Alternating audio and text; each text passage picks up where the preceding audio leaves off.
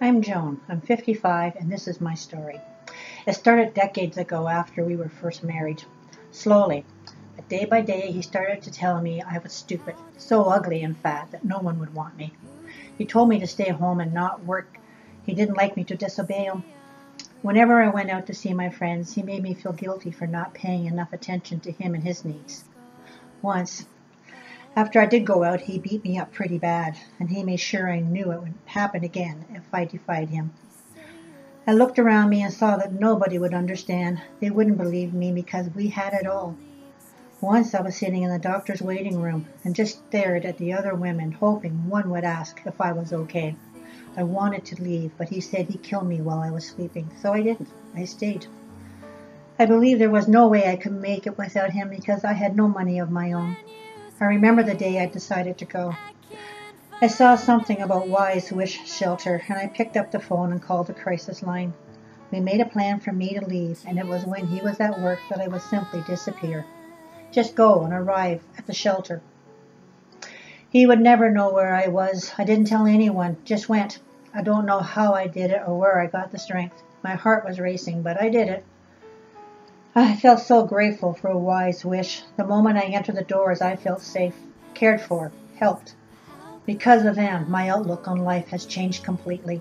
It took time, but I transformed myself from a woman with no self esteem, a negative outlook on life, and zero self worth to a woman who feels confident, who looks at each day with a positive perspective. I know now that I have a value. I matter. Me. Y's WISH saved my life. We know that in Canada, over 6,000 women and children sleep in shelters on any given night because it isn't safe in their home. Sadly, Y's WISH Shelter had to turn away 573 women last year because we were over capacity. But we know that in 2017, Y's WISH Shelter provided a safe haven for over 160 women and children. We know that in the last 15 years, we have helped over 15,000 women escape the violence gripping their lives. We know that when she is ready, we are here for her. I'm Sandra. I'm 28, and this is my story. When it first started, I used to wonder if the kids knew. Could they hear him punch me, slap me, push me to the ground? At first, it was just in the bedroom. Then, after about a year, he hit me all the time, especially in the evening after the kids went to bed. The black eyes weren't even the worst part. I could cover them easily with makeup. It was the emotional bruises and scars that really hurt, the constant belittling and beating down, physically and with his words. A little voice in me knew he was wrong, and I knew that the kids were suffering and scared, but I had no idea how to leave, where to go. I had no money. I once told him I'd leave if he hit me again, and he told me I'd never see the kids if I did that. He said I was a bad mother anyway, and he'd make sure the courts knew it. The house was in his name, the car belonged to him. Where was I supposed to go when I had nothing? Plus, the kids would be so scared and would miss him. I finally told my best friend. I broke down in front of her and she told me about Y's WISH Shelter. She handed me their phone number. I called the crisis line many times before I finally made a plan to leave. Even when I had a plan, I was terrified to do it. But when my daughter came to me and said, Mommy, is it my fault Daddy is mad at you? I decided that was it. When I stepped into the shelter, I knew my life would change. I knew this was the beginning of something different. For the first time in a long time, I felt like someone understood what I was going through. They listened, they got it. They helped me find my voice. They made me feel safe, comfortable, and welcome. There was no place or no one else in the world that could have helped me more. We know that in Canada, a woman is killed every six days by an act of intimate partner violence. In Ontario, a woman is killed every 13 days. Sadly, by March 14th of this year, Ontario surpassed both of these averages. Since January of 2017, four women and two children in Durham Region tragically have lost their lives as a result of intimate partner violence.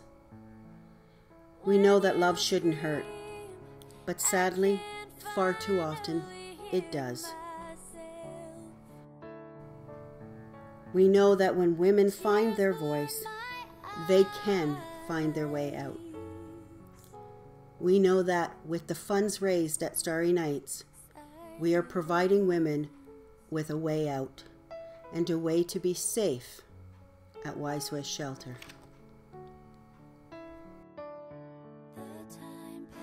I'm Lisa. I'm 10. I see my mom crying a lot. She always looks sad. My parents fight a lot and they are really loud. When they do that, they close the door so I can't hear them, but I can. Sometimes I go in the closet and hide from the noise. I hum my favorite song so I can think about something else. Mom woke me up one night and we took off. It was weird. I got to bring a couple of toys and some clothes with me in a shopping bag. We went to a new house with bunk beds in it. He gave me a new toy when I got there. Told me not to worry. Things are okay. It was pretty strange waking up in that place, but there was another girl there. She was cool. The adults were really nice to me. They hugged me and smiled, and they seemed okay. I hate not being at home, but mom says we have to stay there for now. I miss my house and dad, but I haven't seen mom cry since we left.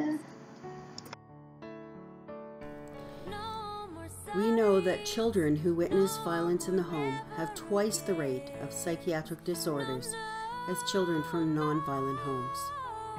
We know that early intervention can break the cycle.